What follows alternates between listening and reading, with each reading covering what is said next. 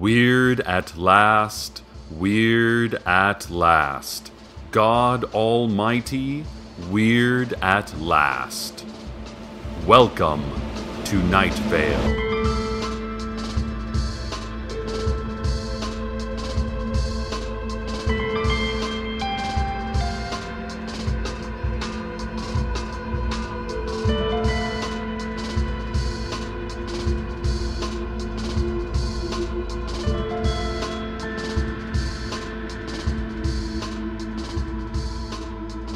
The sheriff's secret police are asking the public's help in catching a dangerous fugitive on the loose in the greater Night Vale area.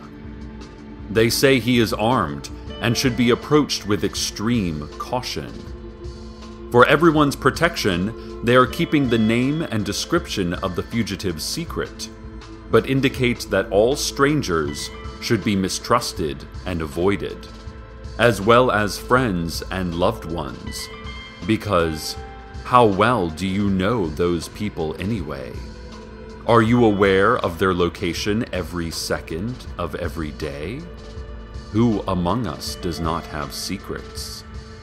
The fugitive is wanted dead or alive, and vigilante justice is, as always, highly encouraged.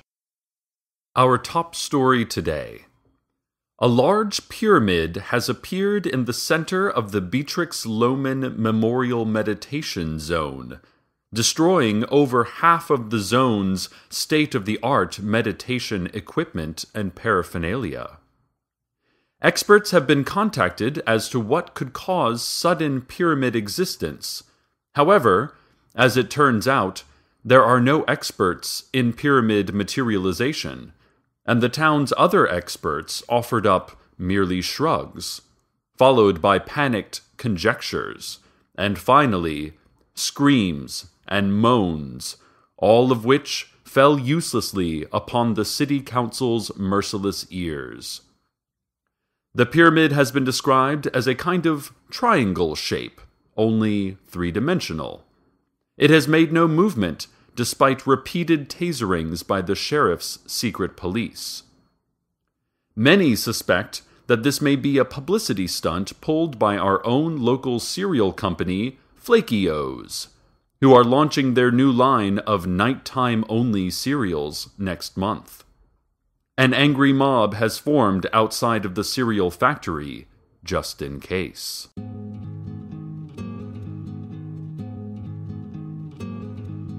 Telly.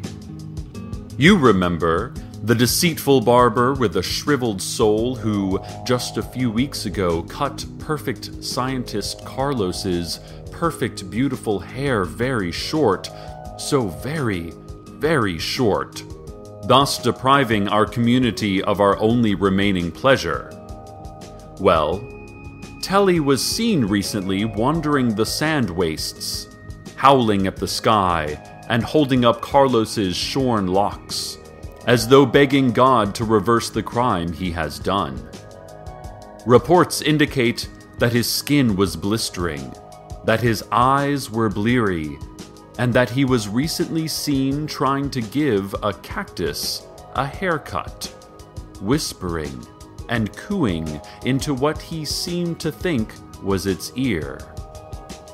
Listeners, I am not one to stand aside harshly and say that a man deserves the punishment that comes to him. But I also am not sorry to see Telly in this state, given his crime. In any case, if your cactus is in need of a haircut, try Telly, out wandering the sand wastes. Ladies and gentlemen, I must say that I am not a cat person. But I have really grown to love Khoshekh, the stray cat that has made his home here at the radio station.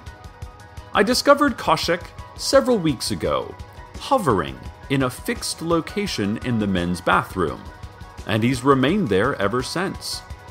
The men at the station, of course, have taken to keeping the sink at a light trickle so he can get water, and we even take turns buying science diet low calorie cat food. It turns out little Khoshekh is getting a bit chubby since he can't actually exercise in his unmovable, levitating state. Oh, and thanks to our new intern, Brad, we've finally solved the litter problem. Brad is very excellent at both carpentry and dark magic. So he rigged us up a fine looking litter box that our floating feline friend can reach. Oh, he's just adorable, that cat. As a lifelong dog lover, I've really turned the corner. Khoshekh is wonderful. I know several others here at the station that feel the same way. After meeting Khoshekh, Michaela, who works in sales, put her three year old Weimaraner to sleep and then adopted six tabby kittens. She's that much of a convert. Make sure to take some cute videos, Michaela. And for others of you interested in getting a new cat, the Night Vale SPCA strongly recommends that you have your cat spayed or neutered, bring them in for their shots, and, once the cat reaches 18 months, begin using the little beast to harvest human organs for those just in case moments. The SPCA has several one sheets on preventing heartworms and using pets to grow small replacement organs. To get your copy, go online or simply make up your own informative facts. An update on the pyramid reported on earlier. Word is in that the pyramid has spoken. It is broadcasting on low wave frequencies a repeated message. The message is the following I will place within some of you questions, within others, I will place answers. These questions and these answers will not always align. The questions I provide may have no answers, and the answers I provide may have no questions. I will study the effects of these questions and these answers. Some of you will hurt others, and others will heal. Grow my seeds inside you and let them flower.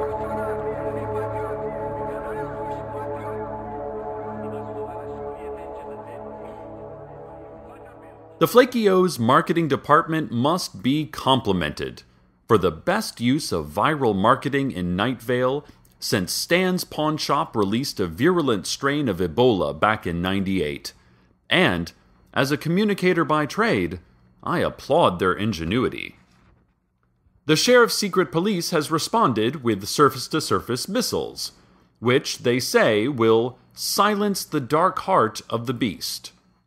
So far, they have not so much as created a smudge on the pyramid's broad, shiny surface.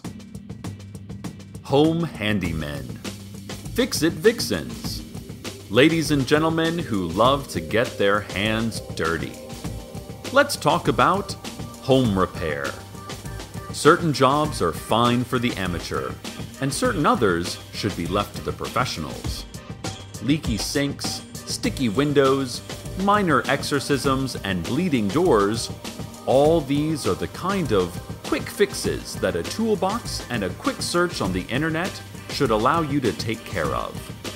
On the other hand, structural damage, major remodeling, seeping darkness, major exorcisms, roof boils, and lawn care. These are all the kind of work that should not be attempted by anyone without years of expertise and a valid hammer license from the City Council. Finding the right professional for the job is easy. Just look in the Yellow Pages. Or head down to the squatter shacks by the edge of the sand wastes and ask around among the homeless.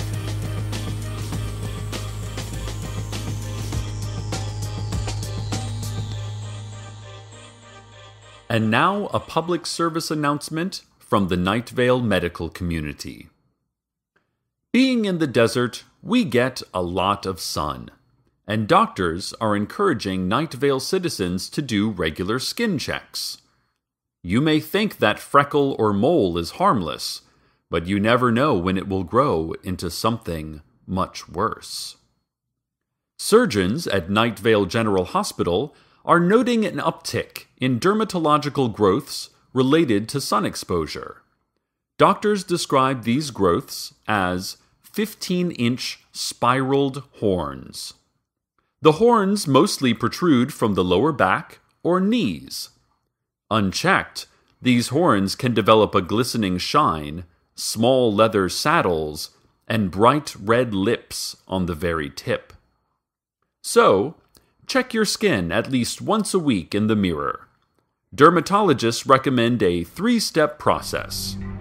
1. Search meticulously for 15 inch horns protruding from your body.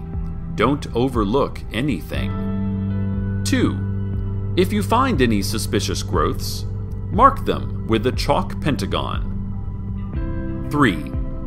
Gently remove the affected skin area with a sterilized razor blade or similarly clean crafting blade. If you are not one of the 53% of our community that was born without pain sensing nerves, you should first consult your primary care electrolysist for tips on how to numb yourself to the nigh unbearable pain of existence.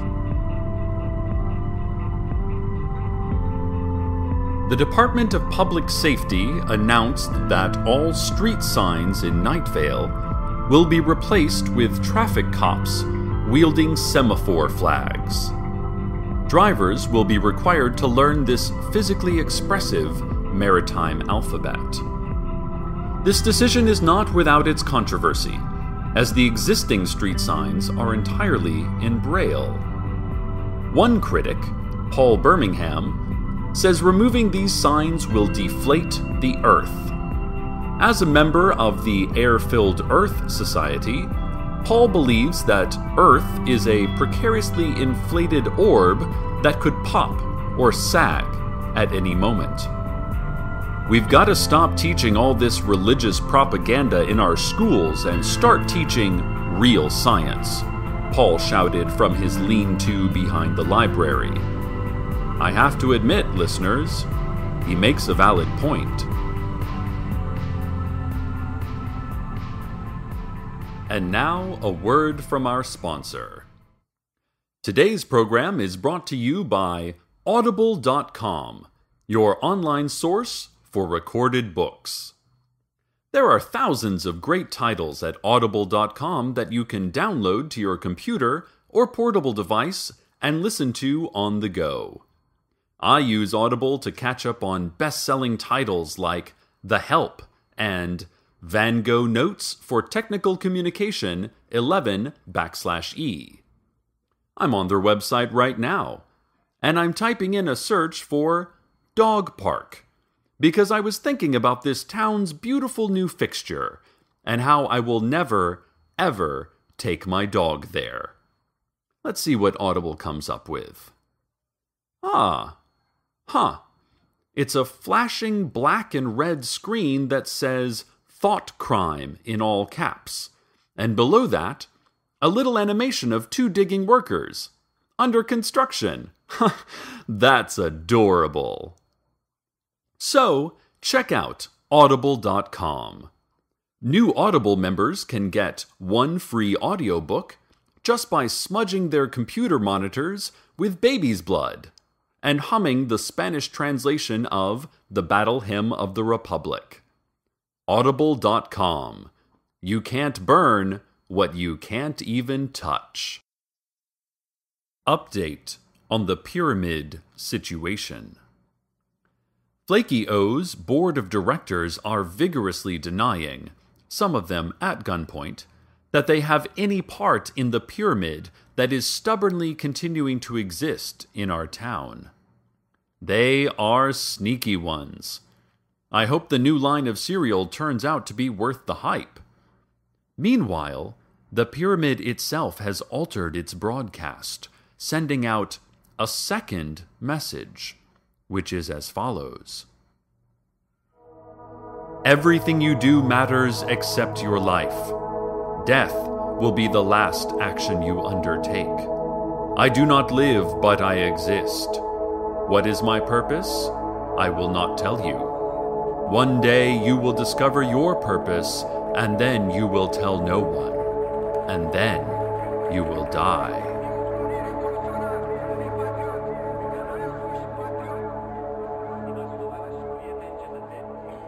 Now, I'm not too good at this viral marketing thing, so I can't see all the codes and hidden web addresses that I'm sure are all through that message. I'll leave that to all the dedicated amateurs out there in the listening world. Sheriff's secret police are now attempting to charge the pyramid with resisting arrest, on the grounds that they couldn't figure out how to arrest it. More as the story develops. In the meantime, let's go to the weather.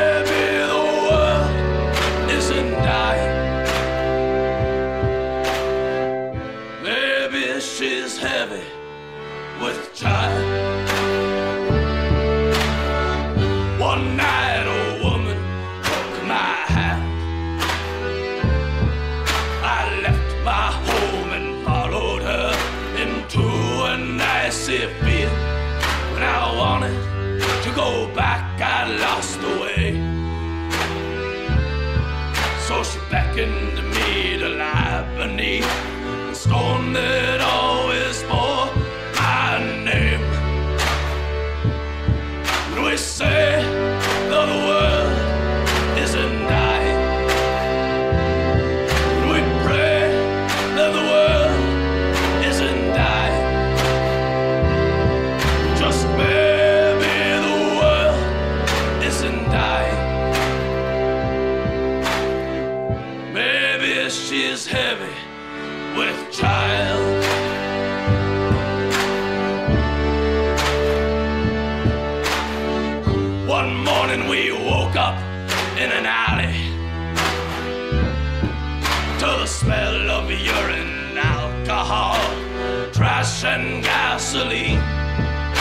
dim sense of a notion we'd held something in our hands that was bigger than us or God, and we can never touch again.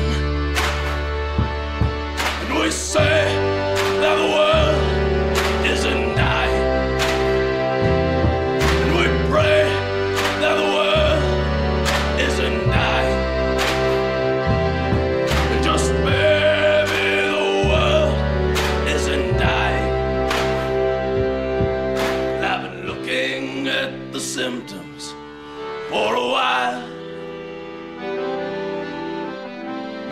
This is heavy with child.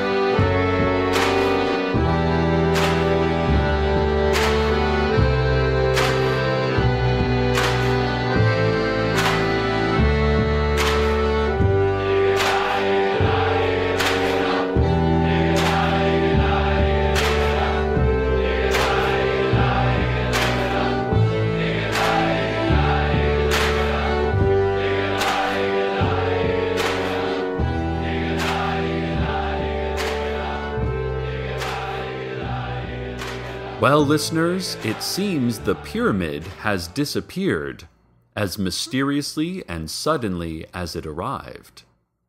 Too late, I'm afraid, for the Flaky O's board of directors, who have all been taken to the abandoned mine shaft outside of town for processing by the city council.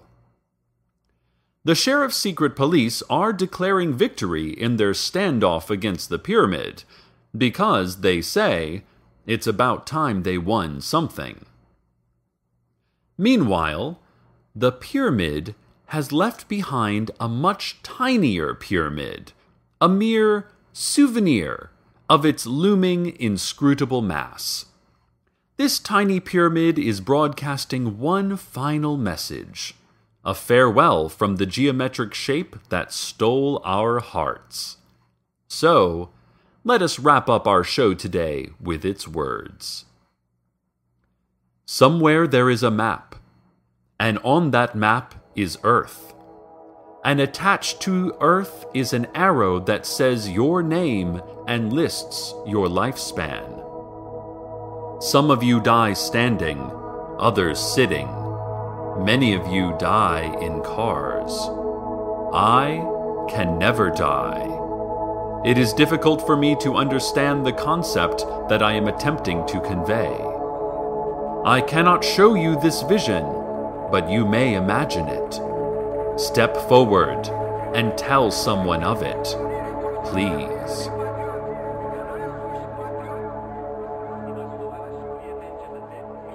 You heard it here, folks. Tell people.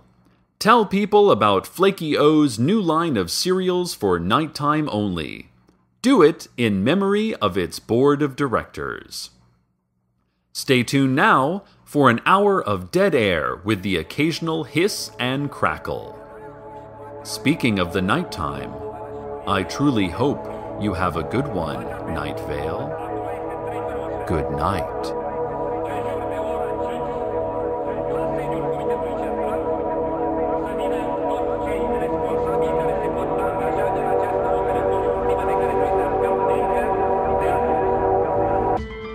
Welcome to Night Vale is a production of Commonplace Books. It is written by Joseph Fink and Jeffrey Cranor and produced by Joseph Fink. The messages from the pyramid were written by guest contributor Regis Locker. The voice of Night Vale is Cecil Baldwin. Original music by Disparition. All of it can be downloaded for free at disparition.info. This episode's weather was Last Song by Jason Webley. Find out more at jasonwebley.com. Want to have your music featured in the weather section? Want to contribute your talents to the show? Just want to say hi? Email us at nightvale at commonplacebooks.com. Check out commonplacebooks.com for more information on this show, as well as our books on the unused story ideas of H.P. Lovecraft and what it means to be a grown up. Today's proverb Nice bolo tie is the greatest compliment a person can ever receive.